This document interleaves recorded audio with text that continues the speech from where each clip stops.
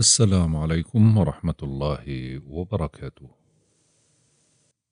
اللهم إني أعوذ بك من فواجع الأقدار، ومن فقد الأهل، ومن حزن القلب، وحرقة الشعور. اللهم إني استودعتك نفسي وأهلي ومن أحب. رب اكتب لي أياما جميلة وأسعدني بتفاصيلها. واغمرني بخيرك الذي لا يفنى. اللهم ارزقني حظ الدنيا ونعيم الآخرة. يا ذا الجلال والإكرام. طبعا بالنسبة للإخوة اللي بضلوا يحكوا إنه الصوت ضعيف. يا إخوان يا أحبائي الصوت أعلى درجة صوت ممكن إنها تنعمل. التسجيل هذا بتم باستوديو ما بتم بالبيت. آه النسبة اللي بيحددها اليوتيوب للصوت هي اللي بتنعمل. اثنين أنا طبقة صوتي ضخمة. وهاي الضخامة مهما رفع الصوت وعلى بظل الصوت بالنسبة لك أنت بتسمعه ضعيف ولكنه هو عالي جدا. رجعت وسمعت الصوت من أكثر من جهاز من أكثر من نوعية وجدت الصوت طبيعي وعالي ومسموع ومفهوم. إذا في عندك مشكلة في الصوت فهو يا إما بيكون من إعداد تليفونك أو الجهاز اللي أنت بتستخدمه وهو اللي بيكون بإعداده في ضعف. مش الضعف بنفس الصوت.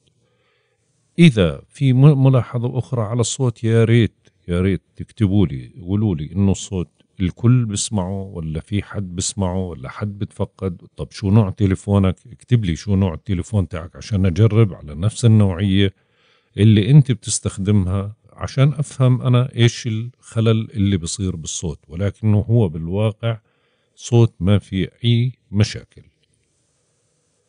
اليوم توقعاتنا ليوم الاثنين عشر نيسان إبريل. طبعا القمر اليوم استقر في برج القوس هو الآن موجود في منزلة الشولة اللي هو موعد بث الحلقة اللي هو مساء يوم الأحد. هي منزلة للظفر والتفريق والسلامة والربح والخراب والتسليط وراح يظل القمر موجود في هاي المنزلة قرابة الخمس ساعات ونص من بعد بث الحلقة. يعني لغاية الساعة سبعة وثلاثة وثلاثين دقيقة من مساء اليوم الأحد بتوقيت جرينتش لينتقل القمر بعدها لمنزلة النعائم وراح يظل في هاي المنزلة طيلة اليوم. هي منزلة للإصلاح والسرعة والتقريب والتفريق وراح يظل القمر موجود في هاي المنزلة لغاية الساعة سبعة واثناشر دقيقة مساء بتوقيت جرينتش من مساء يوم الاثنين. لينتقل بعدها ويكمل باقي النهار في منزلة البلدة وهي للثبات والربح والسلامة. القمر بما أنه موجود في برج القوس معناته اليوم بنشعر بالابتهاج بنجد الناس أكثر مرحا ومنطلق على سجيتنا وبيتجه تفكيرنا من خلال تفاؤلنا لعالم الفلسفة والدراسات الدينية كما منميل للترحال والسفر والرياضة والمغامرة وبوسعنا اقتراض المال أو دراسة لغة جديدة أو الاستمتاع بهواية ما وتجربة الحظ والتخطيط لرحلة ما أو إجراء مكالمة مع شخص في مكان بعيد. طبعا اليوم هو يعتبر من الأيام المميزة لأنه القمر رح يكون بنسبة سعادة والشمس بنسبة سعادة عالية فأكيد رح يكون يعني إن شاء الله بديش أقول أكيد أجزم بالأمر ولكن انه إن شاء الله الجميع راح يستفيد خلال هذا اليوم. بالنسبة للزوايا الفلكية طبعا اليوم ما في أي زوايا مع القمر. القمر اليوم ما راح يشكل زوايا طيلة النهار في ساعات الليل ببلش يشكل زاوية ولكن هاي الزاوية راح تكون يوم الثلاثاء يعني مش يوم الاثنين هي ذروتها. ولكن طول اليوم ما في أي زوايا مع القمر.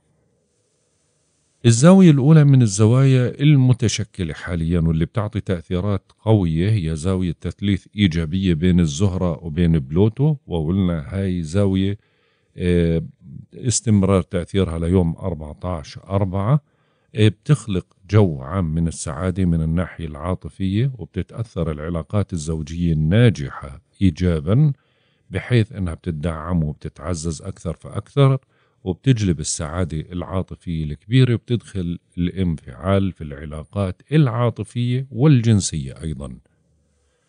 بتدل على وقوع تطورات وتحولات إيجابية في الإنتاج الفني والموسيقي والإنتاج آه، اللي هي الإنتاجات الفنية إجمالا وممكن الإنتاجات الفنية أنها تحقق نجاح في هاي الفترة.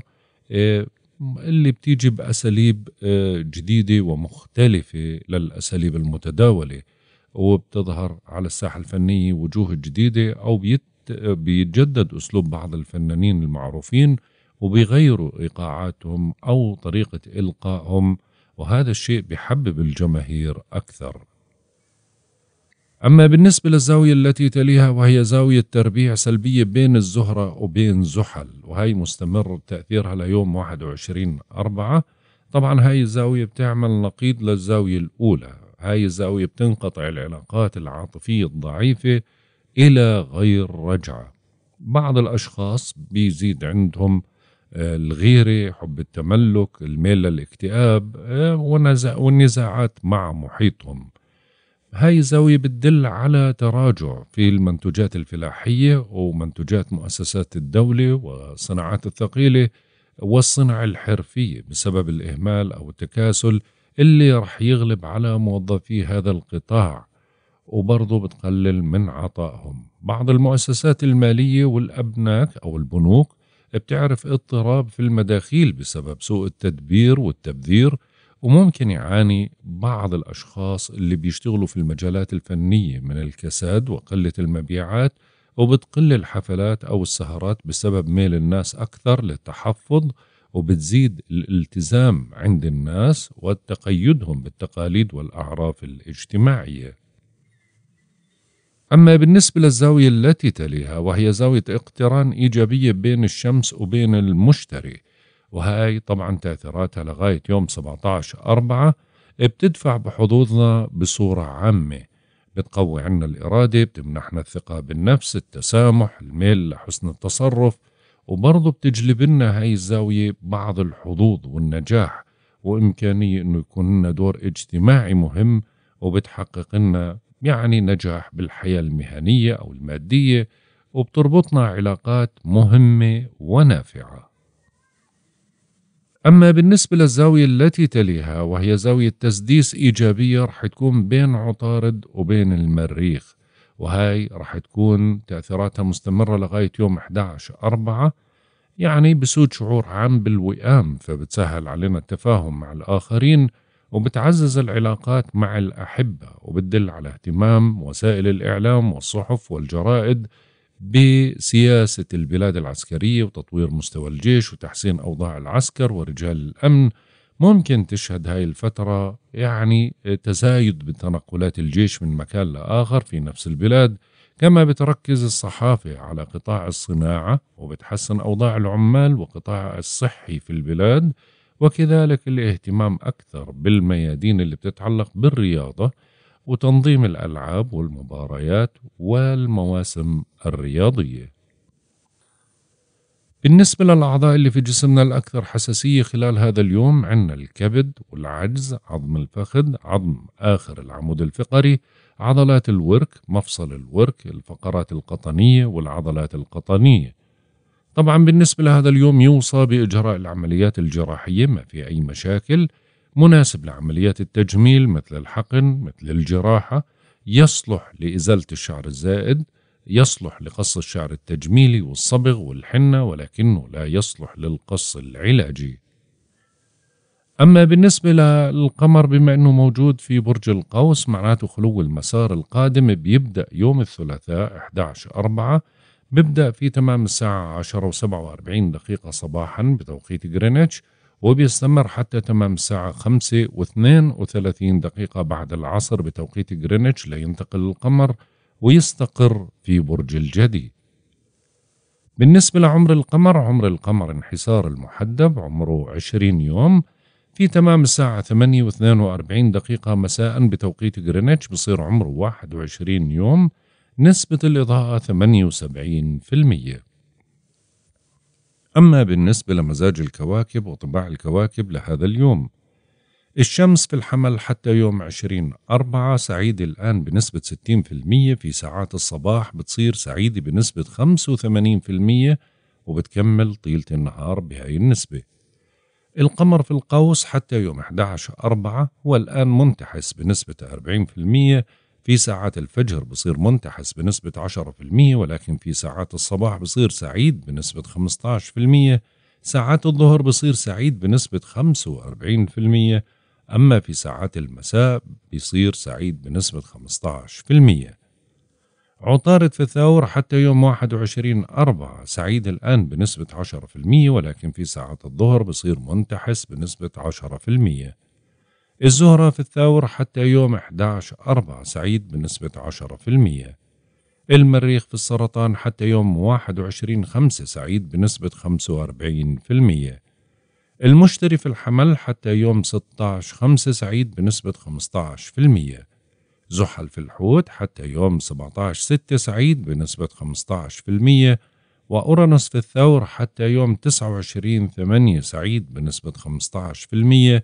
نبتون في الحوت حتى يوم 30 ستة سعيد بنسبة 15% وبلوتو في الدلو حتى يوم 30 أربعة سعيد بنسبة 15% وصلنا للتوقعات اليومية. برج الحمل. بالنسبة لمواليد برج الحمل طبعا اليوم بتنشطوا في مجال الدراسة والسفر والاتصالات لا سيما البعيدة وبتشعروا بقوة العاطفة وتجاوب أحبائكم معكم. بتستعيدوا حماستكم تنطلقوا في تنفيذ خطة أو فكرة جديدة بتتلقوا إشارة أو خبر وهاي الفترة نشطة جدا بتشكل محطة للانطلاق بورشة جديدة. على المستوى العاطفي حكينا ممتازة جدا وبرضه بتجلب بعض المكاسب المالية اللي عندهم مقابلة أو عندهم امتحان اليوم راح يكون مميز. برج الثور. بالنسبة لمواليد برج الثور طبعا اليوم بتعيدوا تنظيم أموركم المالية المشتركة والفرصة بتصير متاحة لمكسب مالي. مع هيك بدكم تخففوا من النفقات المتصاعدة. حاولوا انكم تحسنوا أدائكم فاوضوا بمرونة استفسروا عن كل المعطيات حاولوا إيجاد حل وسط وحذروا من المواقف المتصلبة وما تكونوا قاسيين مع أحبائكم وما تهملوا واجباتكم. بعض مواليد برج الثور ممكن يحصلوا على مكاسب مالية تجيهم إما هبة دعم بنك ضريبة قرض أشياء من هذا القبيل. وقسم من مواليد برج الثور راح يهتموا بالشأن الداخلي اللي بيتعلق بالمنزل والعائلة. برج الجوزاء. بالنسبة لمواليد برج الجوزاء طبعا هذا اليوم يعتبر يوم مناسب لتعزيز شراكاتكم سواء في مجال العمل أو في مجال العاطفة. برضو يوم مناسب للارتباط والتقارب العاطفي أو للمصالحات. حاول بس لأنه القمر مقابلك تماما أنه ما تخلي الغضب يسيطر عليك وما تخلي تقلب المزاج يسيطر عليك. الأجواء تقريبا جيدة إلا أنه الطاقة شوي متقلبة فعشان هيك احذر من العصبية. برج السرطان طبعا بالنسبة لمواليد برج السرطان بدكم تنجزوا اللي بتقدروا عليه من العمل اليوم لأنه القمر صار في البيت السادس. ما تبالغوا بجهدكم الجسماني حاولوا إنكم تعملوا الأعمال المهمة والضرورية. اليوم ممكن يحصل بعضكم على عمل أو يتوفق بإنجاز بعض الأعمال. أهم إشي إنكم تنتبهوا لغذائكم وراحتكم. ممكن تهتموا ببعض المسائل اللي لها علاقة بالعلاج أو المراجعات الطبية. علاقاتكم مع زملائكم بتكون مميزة وممكن أحد الأصدقاء يبادر بمساعدتك بأمر ما وممكن برضو عرض مميز يجيك هذا اليوم. برج الأسد. بالنسبة لمواليد برج الأسد اليوم طبعا القمر في البيت الخامس يعني بيت العاطفة بيت الحظوظ بيت الهوايات والترفيه. اليوم بتشتد رغبتكم في التقرب من أحبائكم وتعزيز العلاقة معهم. ما بيتخلى الحظ عنكم لا ماليا ولا معنويا ولا فنيا. بترتفع المعنويات أهم إشي إنكم تكونوا أكثر مرونة. ممكن تحققوا إنجاز مهم بتنتعش العواطف من جديد وبتشتد عندك الروابط متانة وثقة. في بعض المكاسب اليوم حتى على المستوى المالي أو حل بعض المسائل اللي كان صعب إنك تحلها بالفترة الماضية. برج العذراء.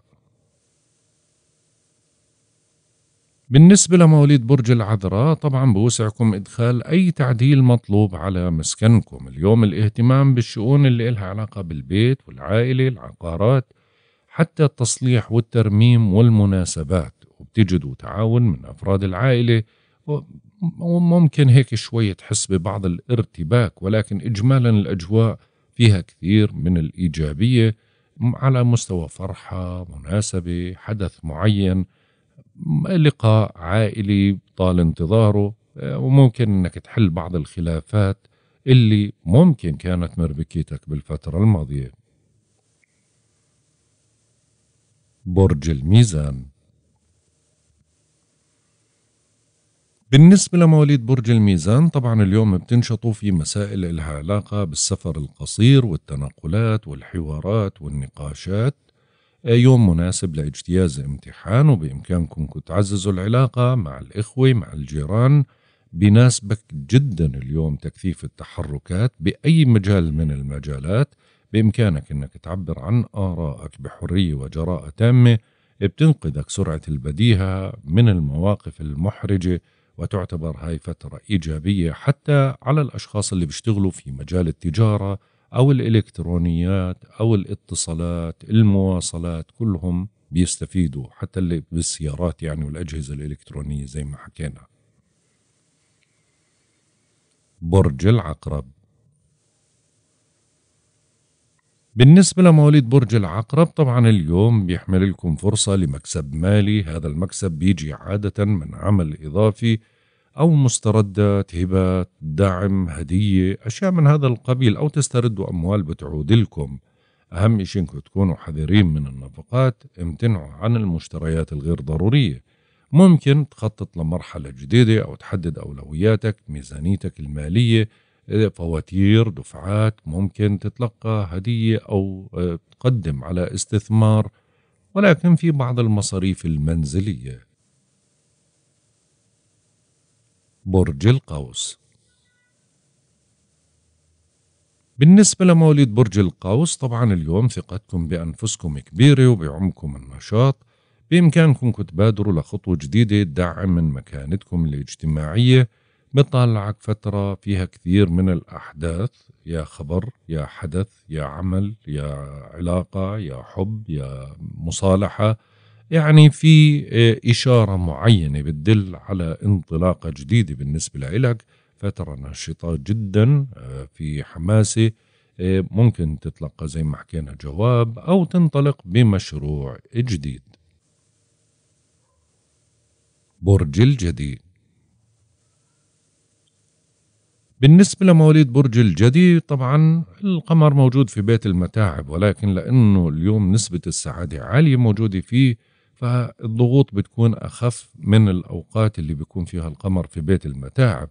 أهم شيء إنكم تنتبهوا لصحتكم عدم المبالغة في إنجاز ما لديكم من عمل متراكم ما في إشي بخوف ولكن ممكن تهتم بأحد المقربين أو إشي له علاقة بالمستشفى بسجن أو بأشياء من هذا الأمور إيه، حاول أنك تستريح. ممكن تعرض نفسك للمسؤولية الكبيرة أو الصعبة.